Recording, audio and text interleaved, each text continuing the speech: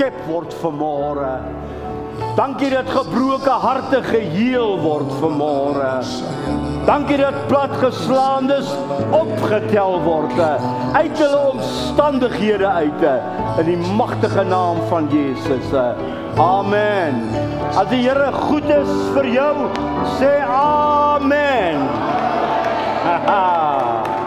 Jy mag hier sit plek neem. Amen. Ek vra eersins om verskoning. Ek het nie notas vir die bord nie. En die rede daarvoor is my vrou is my helper. En sy is op die kamp. So ek het geweet hoe om dit hierop te doen, maar ek weet nie hoe om dit daar te kry nie. Shalmyn, ek sien jy's terug. Waar's jy? Daarso sien jy daar 'n lekker getravel aan daai kant. Amen. Amen. Die Here is goed. Ek gaan vanmôre met u praat oor deklarasie in die kind van God se lewe. Ons praat nou nie van wat die wêreld sê nie.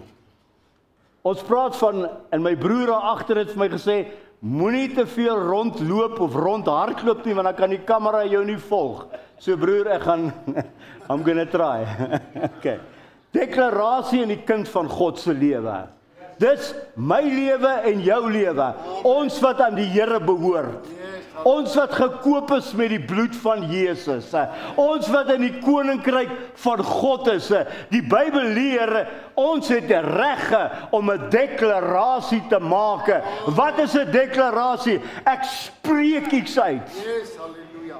En as ek dit uitspreek, dan verwag ek dit gaan gebeur.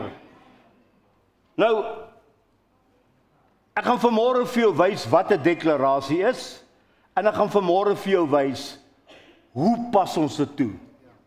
Maar ek wil eers net sê wat 'n deklarasie nie is nie. 'n Deklarasie is nie name and claim it nie. Amen. Sê amen. Amen. 'n Deklarasie is nie net omdat ek dit bedink en ek spreek dit en ek is een van die ouens wat daarvan hou om te praat oor the power of words. Amen. Maar 'n deklarasie gaan nie oor ek sien iets, I name it and I claim it. Dis nie 'n deklarasie nie. Dit is nie 'n lys van beloftes wat ek in die woord kry of by iemand kry op 'n stukkie papier en ek staan net een môre op en ek spreek dit uit en ek verwag dat God dit gaan doen nie. Dis deel daarvan, maar dis nie wat dit is nie. Dis nie 'n vleeslike reaksie wat 'n spiritual effek het nie. Dis ook deel daarvan, maar dit is nie wat dit is nie. 'n Deklarasie is 100% gebaseer op die woord van God. Amen. Dat hy sê daar's geen nuwe idee nie. Ja. 100% op die woord van God. En dit word 100%, hoor wat ek sê, deur geloof geaktiveer. Die Bybel sê en sonder geloof, Hebreërs 10, en sonder geloof is dit onmoontlik om God te behaag. Want hy wat tot God gaan moet glo dat hy is en 'n beloner is van die wat hom soek. Jy sien wat ons baie keer doen, ons sien hierdie ding en sonder geloof. Ons sien geloof. Och, maar geloof is so moeilik my brother. En dan hoor ons 'n ander idee, al wat jy het, nodig het om te doen is staan op, bely dit en God sal dit doen.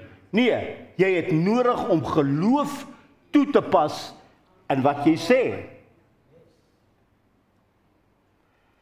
Wat is geloof? Want die Bybel sê, hoor mooi, geloof is dan 'n vaste vertroue op die dinge wat ons hoop. Met ander woorde, ek vertrou die Here vir iets maklik, 'n finansiële deurbraak. Ek hoop dat die Here dit gaan doen. Maar nou bly dit nie net hoop nie, dit word 'n vaste vertroue. Ek weet dat ek weet dat ek weet God gaan dit doen.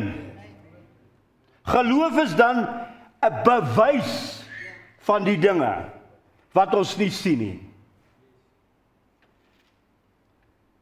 Maar ek wil dit so klein bietjie verander. Dit is 'n be be be bewys van die dinge wat ons nie met die vleeslike oog sien nie. Ek sien dit wel met my geesoog. Ek vertrou die Here totdat ek dit met my gee. Ek sien dit gemanifesteer met my geesoog. My vleesoog sien dit nie, maar my geesoog sien dit. Hoe doen ek dit? Ek staan nie net een môre op nie. Nee, ek kry 'n skrif. Deur sy wonde is ek gesond. En dan lees ek dit. En ek lees dit. En ek dink daaroor. En ek mediteer dit. En ek spreek dit. En ek bid dit. En elke keer as ek iets doen dan groei dit in my binneste in en dan lees ek dit weer. En pastoor dan lees ek dit weer en ek mediteer dit weer totdat dit 'n vaste vertroue binne in my word.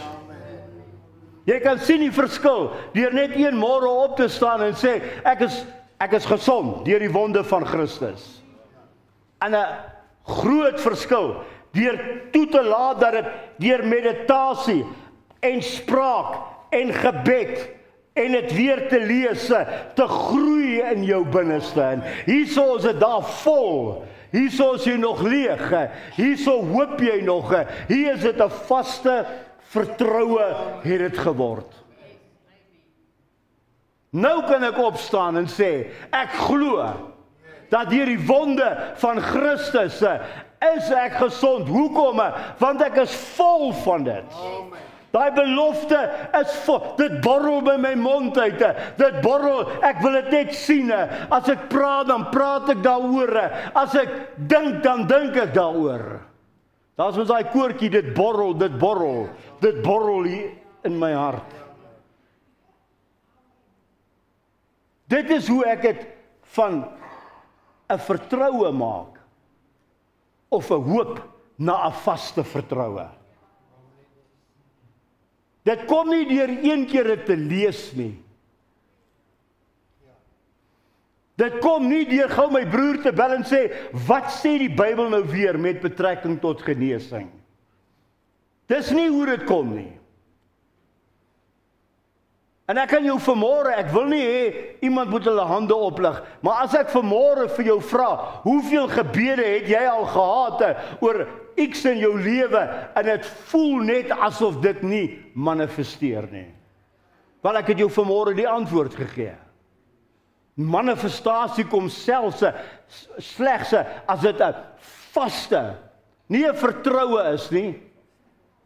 In in irremovable, 'n onbeweegbare vertroue dat God kan en sal dit doen. Hoekom? Want sy woord sê hy kan dit doen. Ek het dit gelees, ek het dit bedink, dit borrel hier binne in my in. Jy sien as daai woord so begin borrel in jou, kan ek nou vir jou sê, jy iemand kan vir jou sê nee broer. Dit gaan nie gebeur nie. Jy het 'n vaste vertroue.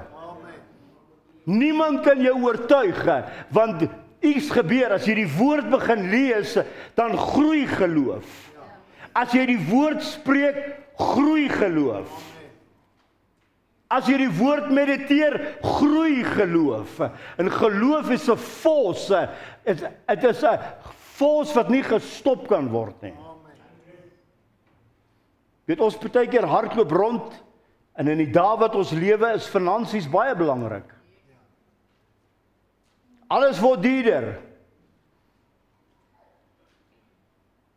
En jy wil die Here vertrou vir 'n paar rand, jy wil hom net vertrou dat jy die einde van die maand kan deurkom. Maar dit lyk net baie keer onmoontlik.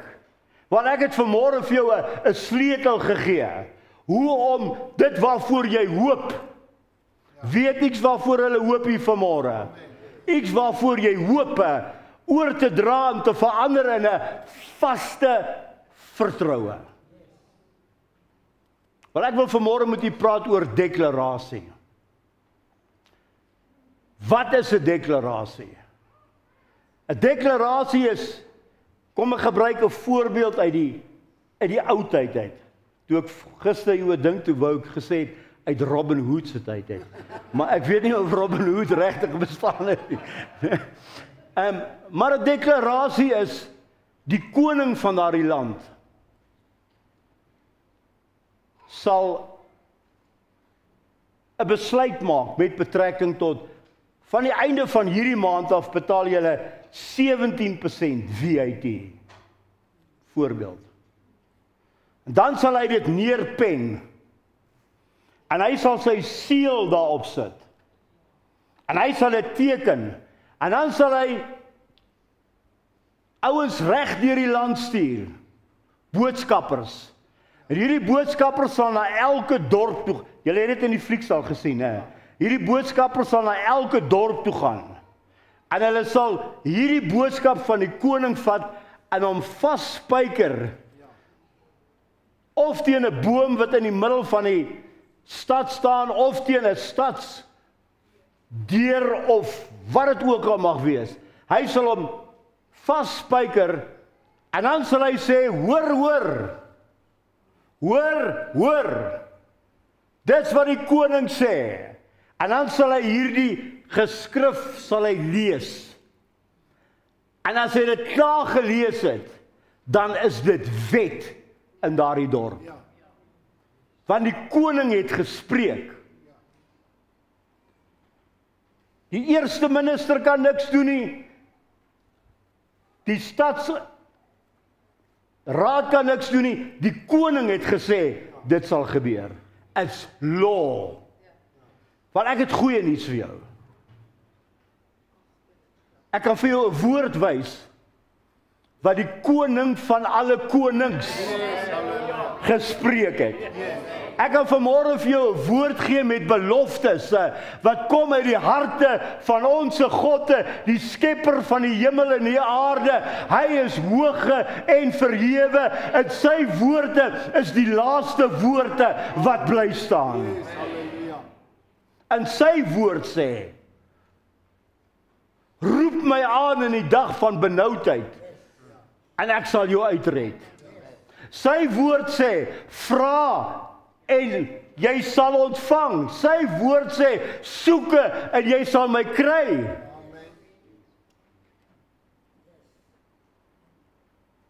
Nee nee, ek praat nie van die koning van Amerika of Rusland nie. Nee, ek praat van die koning van die univers. Die koning van alle konings. Die Bybel sê elke knie sal voor hom buig. Elke koning sal voor hom buig en hy sê.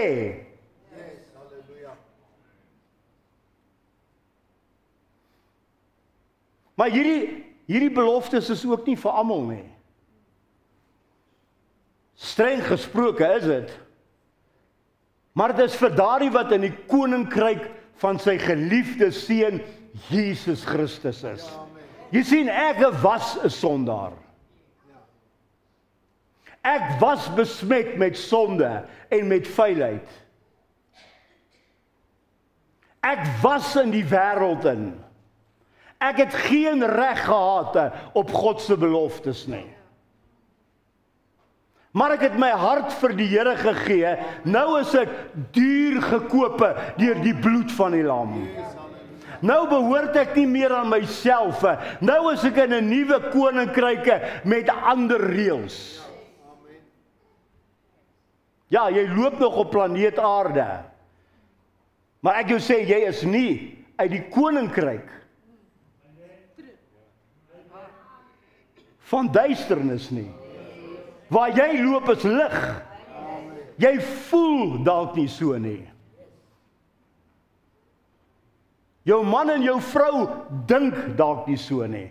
Maar as jy jou hart vir die Here gegee het, the bottom line You are his child. Amen. Sy gees is binne in jou in, hè. Waar jy jou voete neersit, neem jy in in sy naam. Ek is tot alles in staat. Watch me. Kyk na my. Baie jare terug toe ek my hart net vir die Here begin gee of gegee het en ek hierdie dinge begin leer het. Ek sal dit onthou. Toe loop ek in 'n indeerwinkel in. En hulle brand net wierooke, maar ek kan die I can feel the evil. En sonder dat ek besef, I walked in. They walked out. Hulle het by die deur gaan staan. Jy kry die konsep. Ja. Want omdat ek 'n kind van God is, het ek sekere voorregte en regte. Ek wil vir jou vanmôre 'n bietjie vertel wie jy is. Jy is 'n kind van God. Amen. Jy is gewas met die bloed van Jesus. Amen. Jy is die eiendom van die Here. Engele is uitgestuur om jou te bewaar en jou te beskerm. Die hand van die Here is op jou lewe. Ja, jy maak baie keer droog deur net iets te bely. I will not make it. Maar ek sê vir jou, korrigeer dit. Jy is 'n kind van God. Jy het nie nodig om 'n reëlboek te hê met spesifieke reëls wat vir jou sê dit is hoe ek antwoord. Nee, jy's klaar 'n kind van God. Hy sê maklik in sy woord, vra en vir dit daar's niks moeilik om te ren dit nie. Die een ou sê vir my, dit kan nie so maklik wees nie. Wel, dit is. Dit is so maklik. As ek loop, loop ek nie alleen nie. Hy is met my. Die gees van die Here is in my.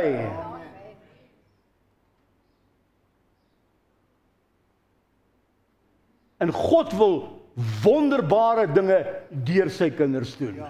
Ek het vanmôre dat ons net voor die diens, of nie voor die diens nie, voor die preek mekaar net so bedien dat jy net 'n proetjie kan kry. This is my ministry. Dis is wie ek is. Ek moet die wat gebroke is optel. Ek het nie nodig om hier in te kom en in te sweef om die salwing so op my is nie. Nee, ek kan inkom en omdat ek 'n kind van die Here is, kan ek my hand op my broer lê en sê, "Brother, be blessed in Jesus name." Ek kan bande breek. Ek kan juke aflig. That's my heritage. Dis wie ek is. As ek iemand sien wat gebroke of seer is, afgare en jy ook. Ja. Jy's ook geroep om presies dieselfde te doen. Jy's geroep as jy sien iemand is bietjie af om net 'n bietjie 'n woord van bemoediging te spreek. Nie jou eie woord, gebruik die woord van die Here. Die Here is vir jou 'n rots, my broer. That's your ministry. Partykeer gaan ons deur die lewe vir 10 jaar. Jy dink ek maak 'n grap. Vir 10 jaar. En ons lê nie ons hande op iemand en bid vir iemand nie. Ek kom maar net en ek gaan. En ek kom en ek gaan. En as ek jou sal vra wat is jou bediening? Ek is nie seker nie, my broer. Want God het jou geroep in sy bediening. Amen. En hy het sy woord gegee en hy sê lê hande op die siekes en hulle sal gesond word. Hy het sy woord gegee en hy sê profeteer. Hy het sy woord gegee en sê breek bande.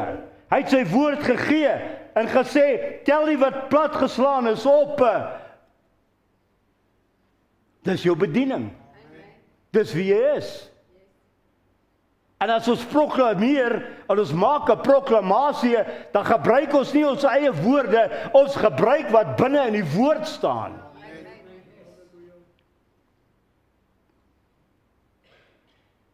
Ek kan nie onthou wie die prediker was nie. Maar die Here het eendag vir hom gesê: "My woorde in jou mond." Reinhard Bonke, "My woorde in jou mond is net so sterk soos my woorde in my mond." Wat sê ek vanmôre? Wat probeer ek vir jou sê? Jy is geroep met 'n goddelike roeping. Jy het nodig om te begin. Man, alles het 'n teksvers wat jy in die oggend vir iemand stuur. Alles is net 'n boodskap wat jy stuur. Jy het nodig om iets te doen sodat die liggaam van die Here weer geroer en gestuur kan word.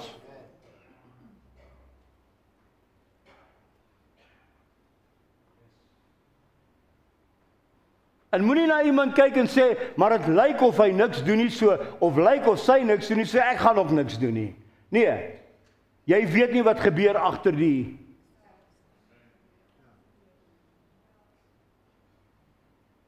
Jy's gesalf met vars olie. Dis wat die Bybel sê. Met vars olie. Laat ek jou vra, broder, is jy gesalf? Amen. Met wat? Is jy gesalf? Vars olie. Is jy gesalf my broer? Vars olie. Is jy gesalf my broder? Ja, is jy gesalf? Nou ons het al hierdie mense wat hier in een gebou in sit. En ons almal het die salwing van die Here op ons. Hoekom gebeur min dinge?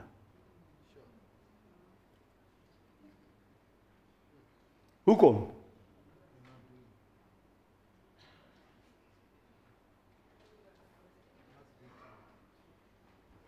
Laat dit so 'n bietjie insink. Hoekom?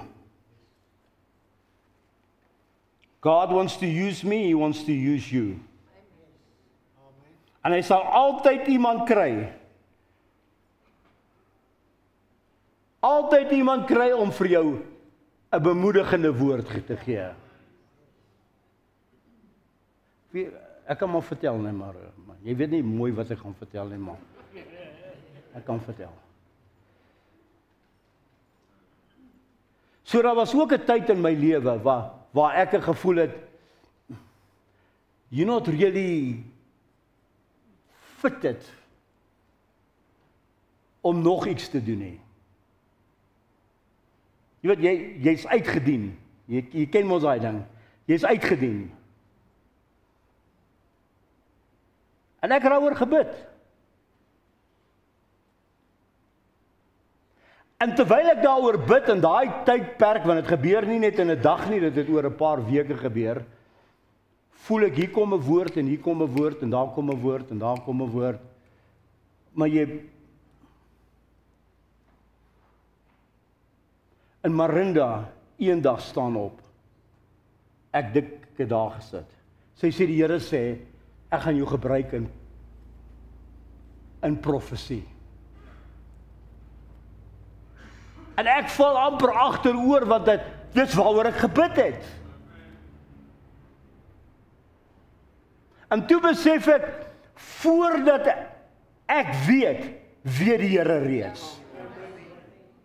En hy ken die begeerte van my hart. Hy ken nie die begeerte van my hart nie. Hy wil dit op so 'n manier bevestig.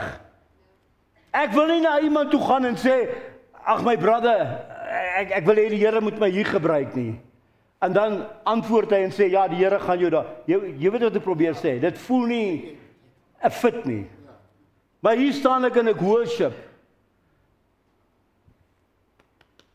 Die Here sê hy gaan jou gebruik in profesie. Dis hoe die Here werk. Amen. Dis konfirmasie van die van wat God wil doen. Ek het net nodig om my mond oop te sluit en te begin spreek. Amen. Halleluja. Nou die Here het vir ons sy woord gegee. Nou ek wil net vir jou lees wat sê die woord met betrekking tot die woord. Vir ewig o Here. Ja. staan u woord vas in die hemel. Vir ewig, o Here. Amen. As hy dit gesê het, het hy dit gesê. Jy kan dit maar gaan uithaal en jy kan jy kan dit van toepassing op jou lewe maak.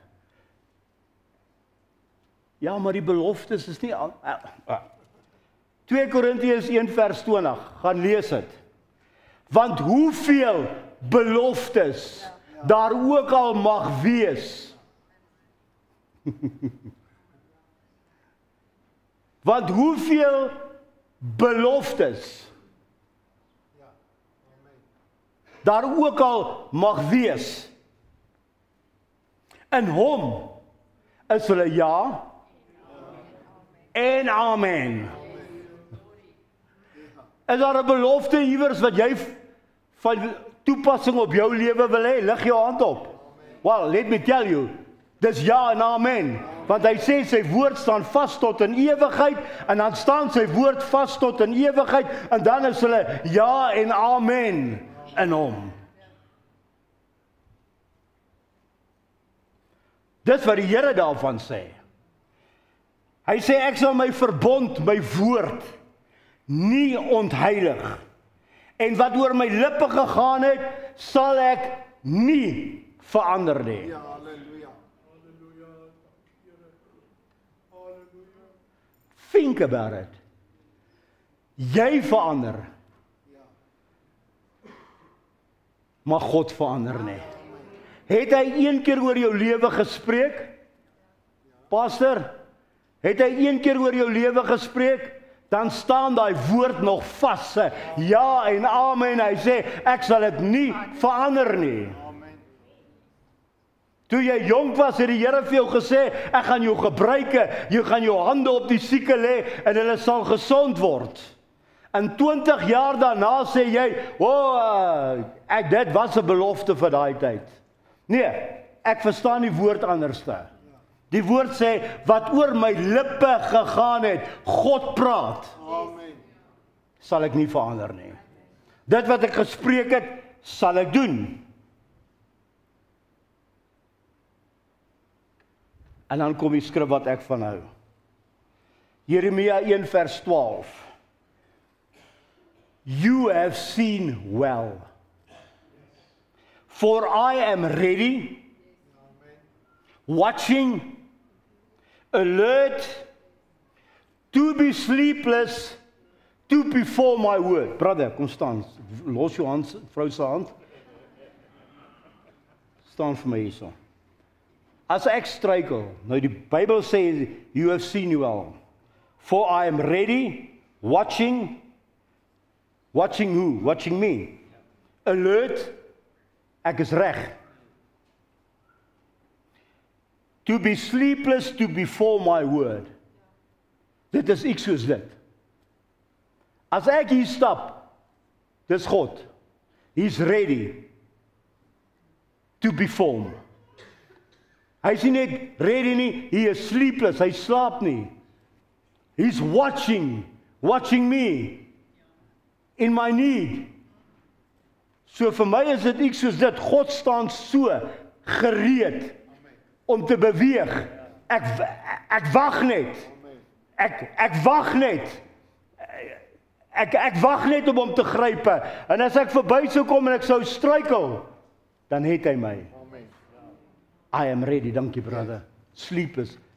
Hierdie is nie 'n belofte net vir my nie. Hierdie is 'n belofte vir my en jou.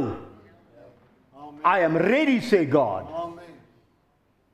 Dink aan die belofte wat jy van die Here soek. Ek wil vir jou vanmôre sê, hy sê, I am ready. Yes, haleluja. Dink aan daardie deurbraak wat jy soek vanmôre. Ek vir jou sê wat sê God? Hy sê I am ready. Amen. I am ready. I'm sleepless. I'm ready to perform. Maar die paar woorde voor dit sê sê you have seen well. So God sê, jy het goed gesien. Ek is wakker oor my woord om dit te doen. Ek wil dit doen. Halleluja. Prys die naam van die Here.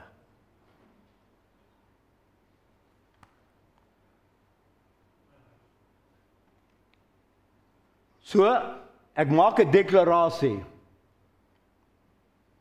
Ek probeer vir jou hier leer en tips gee oor hierdie. As ek nodig het om 'n geestelike sorry, ek ek ek, ek, ek gaan weer ek ek leef nie in die verlede nie, maar ek kan voorbeelde gebruik. Baie jare terug toe ek in 'n posisie in by 'n baie groot maatskappy, was redelik suksesvol, maar ek het een persoon gehad wat man, daai ou het my gejag soos jy 'n dier jag. Hy wou net my ondergang gesien het. Ek moes elke dag van oggend tot aand, brother, moes ek keer. Ek moet net keer. En toe gebeur die ondenklike. Hulle stuur my om te gaan werk in die Kaap en ehm um, Grote Skuur Hospitaal vir 'n periode van 2 maande, 'n maand, ek weet nie hoe lank nie. Ek is nie meer by die werk om myself te beskerm nie. Ek kan nie meer te werk en verduidelik wat hier gebeur het. Ek sit in die Kaap en my broer.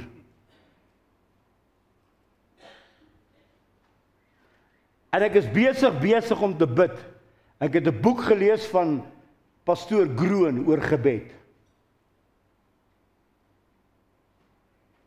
Ek probeer vir jou wys wat jou attitude behoort te wees.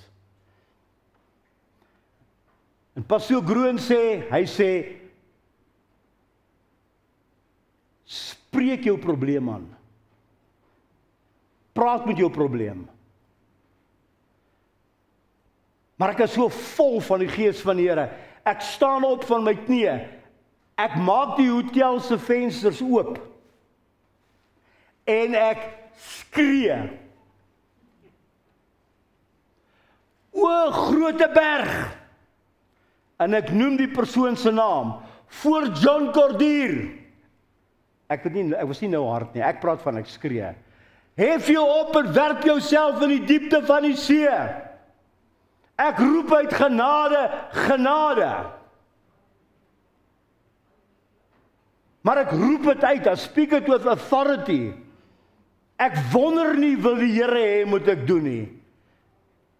Ek is in autoriteit en ek spreek dit met krag.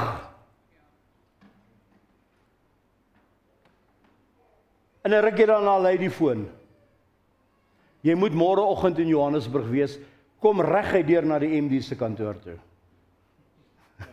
Imagine broer. Maar ek het my declaration gemaak.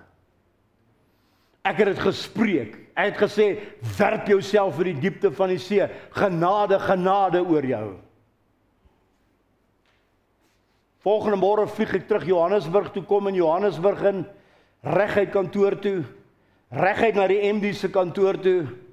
Die een ou wat by my verbyloop, hy sê nog vir my, "Good luck."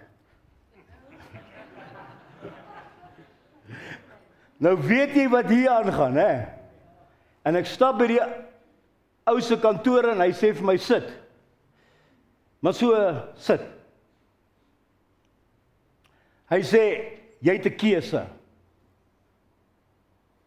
Ek stel hierdie voor jou, jy het 'n keuse, maar dat ek nou net vir jou sê as jy dit nie gaan doen nie, kry ek iemand anders om te doen. Ek stel jou vanmôre aan as die nuwe tegniese hoof van Suid-Afrika. Jy word sy baas.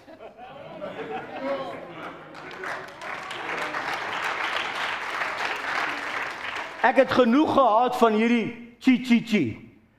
Ek maak jou sy baas. As jy dit nie wil hê nie, kry ek 'n ander baas. Dis hoe God werk. Dis hoe God werk. Toe ek hom sien 'n rukkie daarna toe, ek kan amper sien hoe sy in die see, want ek het gesê ek werp jou te spartel om uit sy moeilikheid uit te kom. So, wat sê ek vir jou? As jy 'n deklarasie maak, dan doen jy dit met autoriteit. Dis hoekom jy nodig het om die woord te lees en te lees en te lees en te mediteer totdat dit 'n vaste vertroue word. Jy moenie wondere wil God my help nie. He. Jy moet weet dat jy weet dat jy weet dat God dan maak dit vir jou makliker om die venster oop te maak en te sê ek roep daardie finansies in in die naam van die Here Jesus want die woord sê ek is 'n gunsgenote en ek kan vra en as ek vra gaan ek ontvang. Amen. With authority met krag. Nee ag Here. Ek is nou nie seker of U my wil. Ek weet nou nie of hierdie onder dit val nie. Nee, jy doen dit met krag. Dit het nodig om in jou te ek kan jou waarborg. Ek kan jou waarborg as jy dit toepas in jou lewe, sal jy die oorwinning kry wat jy behoort en moet hê.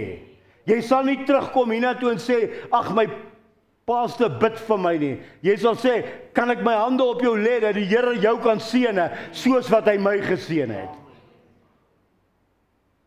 Kom ons staan.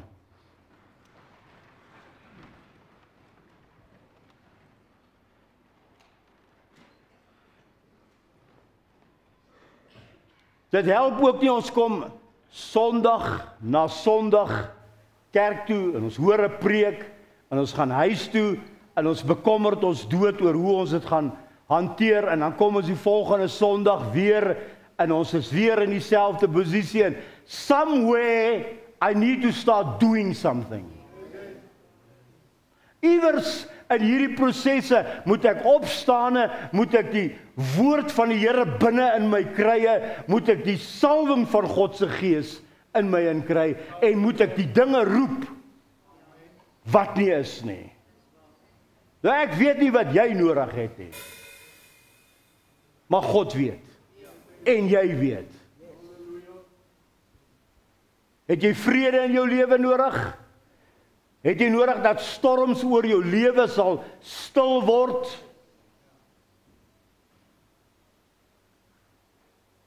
Het jy nodig dat jou kinders geseën sal wees?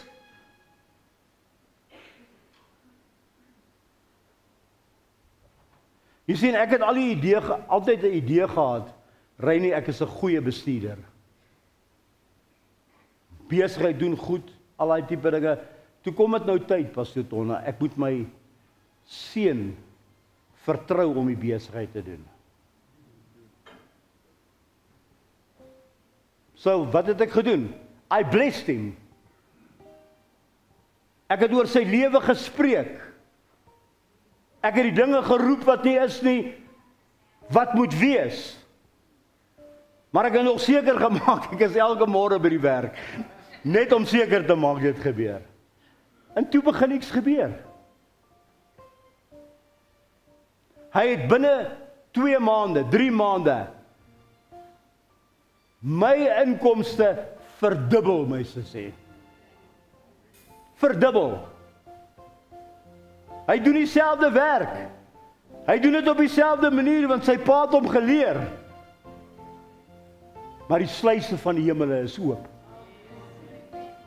Vir my is dit nie ek hoop dit gaan goed nie. Ek het 'n vaste vertroue dat goed sal gaan.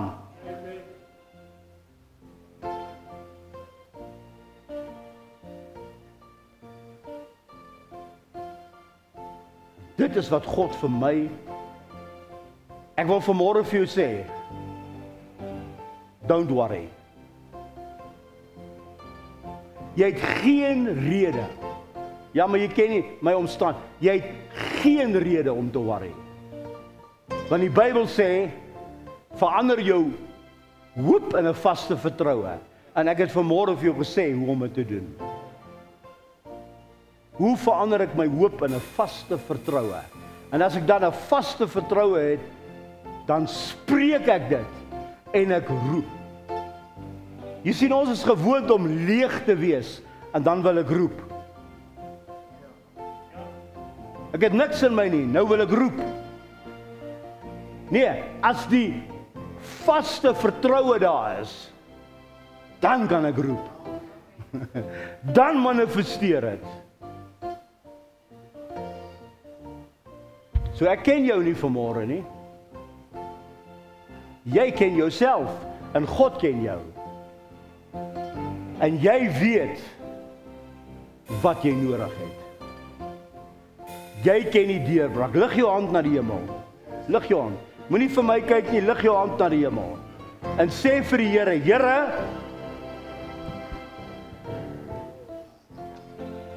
ek gaan my hoop verander in 'n vaste vertroue. Commit yourself. Sê jy gaan dit doen. En dan gaan jy huis toe en jy verander jou hoop in 'n vaste vertroue. Dit kan jou 'n dag vat, dit kan jou 'n week vat, dit kan jou 3 weke vat. Maar staan vas op die woord. Bely dit, spreek dit, bely dit, spreek dit, mediteer dit. sien wie is dit wat praat? Die koning van alle konings.